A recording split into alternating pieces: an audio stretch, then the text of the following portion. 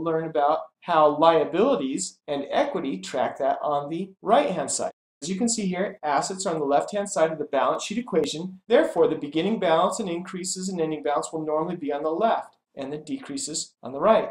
Liabilities and equity since they're on the right-hand side of this equation, the beginning balance will be on the right-hand side with increases also on the right-hand side and decreases on the left. Accountants have developed this method over time because it allows you to do the math a little bit faster by hand. If you put all the increases together, you can add them all up really fast, as opposed to having increase, decrease, increase, decrease all in the same column. They put the decreases on the opposite side just so you can add up all the increases together and then in one computation deduct the total of all the decreases. We will dig into this later in more detail to show how accountants use these T accounts in computing balances.